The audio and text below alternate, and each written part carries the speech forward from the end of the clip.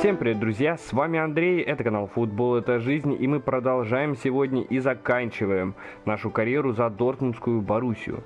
Перед началом этого видеоролика хотел бы вам напомнить о том, что у меня есть второй канал, игровой канал РНТ. Ссылочка на него есть в описании под этим видео, поэтому переходите, подписывайтесь, кому интересны игровые прохождения или let's play на ютубе. Буду рад всех там увидеть.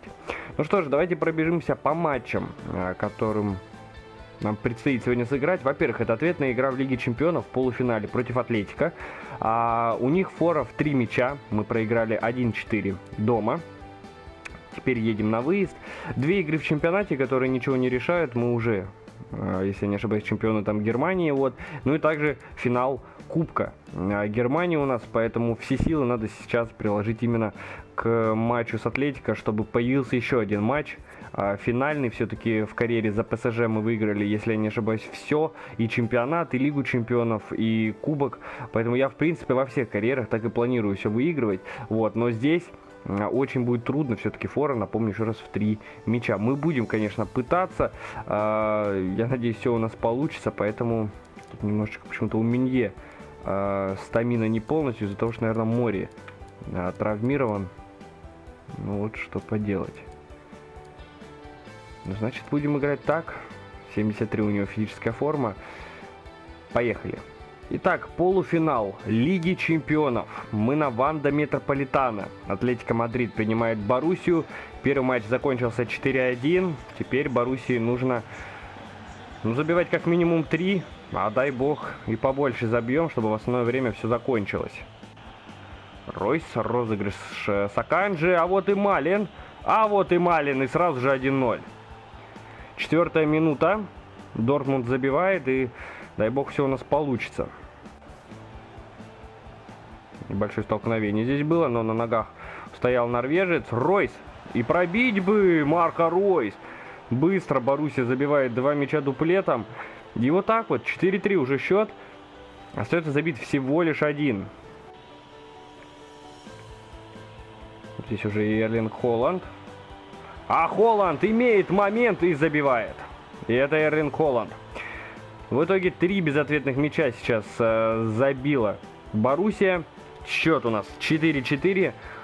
Холланд забивает важнейший гол в этой встрече, потому что два мяча дуплетом, э, которые забили в первом тайме игроки Боруссии, больше забить в первом тайме не получилось. Казалось, все. Атлетика собрались, но нет. Как мы видим, во втором тайме Холланд на индивидуальном здесь мастерстве придержал, где-то накрутил и пробил мощно в дальний угол. Счет 4-4. Горит Атлетика 3-0 дома. Но порой там недель назад Боруссия горела 4-1. В итоге 22 гол в 12 матчах у Холланда в Лиге Чемпионов. Ну и здесь вот побежал Лоренте. А какой прострел и Лимар забивает. А вот и первый гол Атлетика, и теперь нам ну, нужно повторять счет предыдущего матча. Как мы 4-1 проиграли, так и надо теперь обыгрывать 4-1 а, Атлетика и обязательно забивать еще. Вот знал же я, что надо ну, в любом случае забивать еще. Теперь просто обязаны мы это делать. Ну и офсайд, говорят, был у Холланда. 20 минут до конца, счет э, снова в пользу Атлетика. Пошла подача. Аканджи справляется. И пропускает Боруссия еще один мяч. Два мяча нужно забивать за оставшееся время теперь Боруссии. Вот так вот, преимущество в три мяча. Сразу же Боруссия теряет. Также вот два мяча дуплетом теперь забивает Атлетика. Малин. На Холланда пошла передача. Холланд забивает очень важный гол. Счет у нас 6-5, остается, ну, 10 минут, еще добавленное время от арбитра. 4-2. Боруссия также забила 4 мяча, как и Атлетика на Сигнал Дуни Парк, но вот Атлетика сегодня тоже посильнее, два мяча они смогли все-таки забить.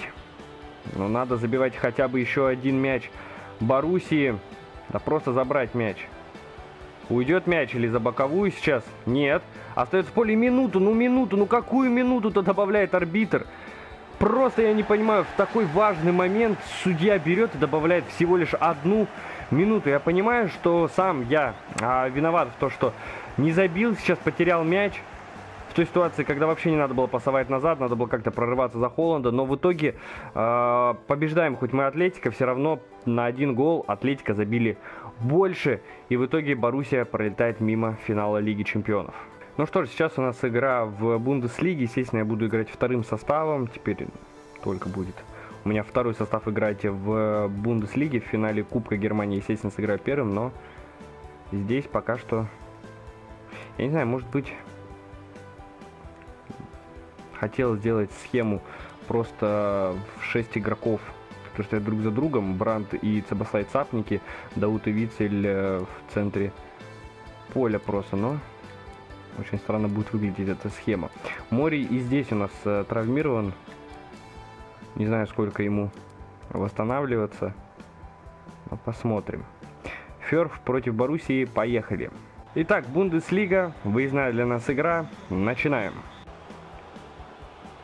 Сабаслай. Подача, но здесь Бранд забивает все-таки. 43 минута, Боруссия выходит вперед.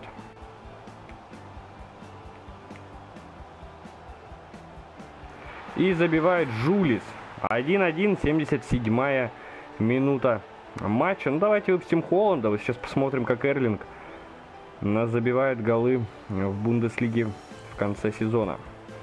Через Холланда. И какую шикарную передачу-то Холланд отдает на Дауда. И в итоге снова Боруссия выходит вперед. Не прошла вообще даже Э, не нашла партнеров. В итоге все, финальный свисток и минимальная выездная победа Дортмунда над Ферфом. Итак, сейчас у нас последний матч в чемпионате Германии этого сезона. И, естественно, я, наверное, доиграю первым составом. А, потому что, во-первых, Холланду надо забить, я не знаю, ну хоть трик хотя бы, чтобы уж точно его никто не обогнал в списке бомбардиров. Да и тем более следующая игра у нас только через неделю. А, финал Кубка Германии. Поэтому поехали.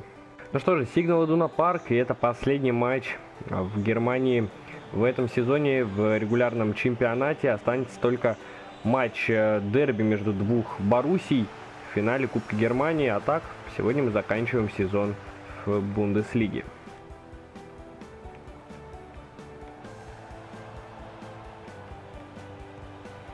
И Холланд все-таки вколачивает мяч нарушали на нем правила, но он решил продолжить игру. Не зря вколотил мяч, который залетел от штанги.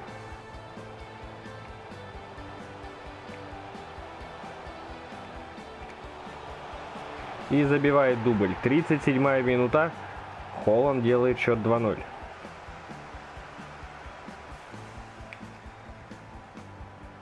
И вот такой шикарный еще гол забивает Гюрейра. 65-я минута матча. Никто не встречал. И Гюрер решил с дальней дистанции почему бы не пробить, тем более счет позволял.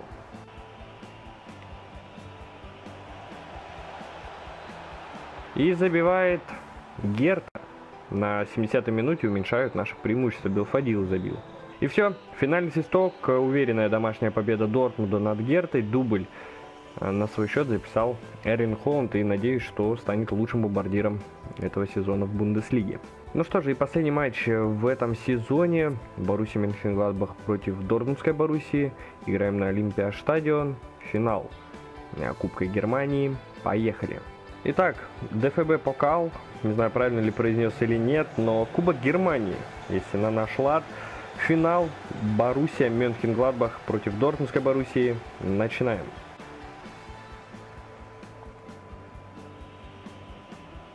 Так, фокус сегодня на Холланде. Он стал лучшим бомбардиром в Бундеслиге. И просто шикарный гол забил Эрлинг и вывел Боруссию вперед в финале Кубка Германии. Так, неплохо Ройс ускоряется. Можно дальше проходить. И видит он забегание, конечно же, Эрлинга Холланда. Подача идет прямо на него. И норвежец, ну просто шикарный гол забивает что первый, что второй, ну просто отлично. Голевое чутье у этого гиганта есть, и он это показывает.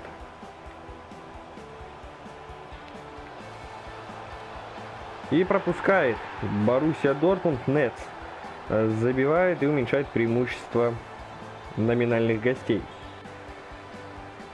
Ройс Забить не смог. Мали добивает уже практически в пустые. И снова разница в два мяча. Холланд отлично забрасывал на Малина. Тот на Ройса и Марко Ройс забивает ворота своей бывшей команды в финале Кубки Германии. И не дал арбитр продолжить атаку, хотя Холланд мог забить э, хэт-трик, но в любом случае разгромная победа. Боруссия обыгрывает Боруссию 4-1. Замечательно. Ну что ж, друзья, заканчивается у нас сезон. Давайте подведем итоги турниров, в которых мы участвовали. Во-первых, мы выиграли э, Бундеслигу, Бавария на втором месте, на третьем Вольсбург. Не знаю, кому, если интересно, Герта, Фрайбург и Армения э, вылетают. Хороший у нас, во-первых, еще и отрыв над вторым местом. Э, выиграли Кубок Германии. Очень странно, что здесь написано минус 2, минус 1. Как-то, ну вот Бавария победила в Суперкубке э, по пенальти со счетом 0-3, тем более, еще так написано. Вот, выиграли предсезонный турнир, а, Челси выиграли а, Суперкубок УЕФА и в итоге Атлетика по пенальти обыграли ПСЖ в финале Лиги Чемпионов. А, в основное время 3-3, по пенальти 5-4. Поздравляем матрасников. Лигу Европы выиграла Бенфика, сняла себя на проклятие Еврокубковое, обыграли Лейпциг со счетом 2-0. Ну и Реал Соседат обыграл Рому в финале Лиги Конференций. Ну и также давайте по игрокам. В Бундеслиге лучшим бомбардиром стал Холланд, у него 20 забитых мячей в 20 матчах. Лучшим ассистентом стал Брандт, 19 голевых в 22 играх. А, лучшим вратарем стал Нойер, 11 сухих матчей из 34. Но наш Бюрки а, в 18 матчах 8 насухо отыграл. Ну и также Кобель 6 сухих в 16 матчах. В Кубке лучшим бомбардиром стал Холланд, 6 голов в 4 матчах. Лучшим ассистентом Ройс, 4 пасов в четырех матчах. И лучший вратарь Сомер. Ну, здесь, наверное, больше Фарман, потому что матчи он меньше отыграл, а сухих ровно столько же.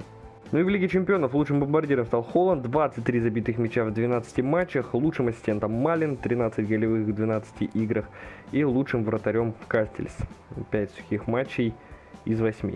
Так, ну и топ-3 по составу. Больше всего матчей провел, кстати, Аканджи, 40 игр. Дальше идет Холланд, 37 и 35 Малин. А по забитым голам 49 Холланд, Малин 24, Колумуани 17. Ну и по голевым. Малин 28, Ройс 23, Бранд 21 голевая передача. Ну и по сухим играм Аканджи, Хюмельс и Пелингем. В итоге самый молодой игрок, который у нас играл, это Джуд Биллингем был. Именно из действующих игроков, которые у нас именно играли, они просто в составе числились. Ну а самым возрастным стал Хьюмерис, получается, 33 года. Самый низкий рейтинг у нас был это Кана, которого я подписал, в итоге потом он не играл.